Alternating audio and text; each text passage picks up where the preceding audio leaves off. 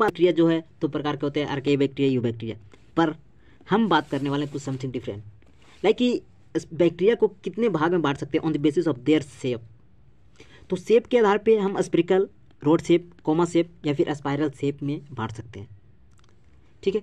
तो ये four group है जिसमें हम बैक्टीरिया को बांट सकते हैं। On the basis of their shape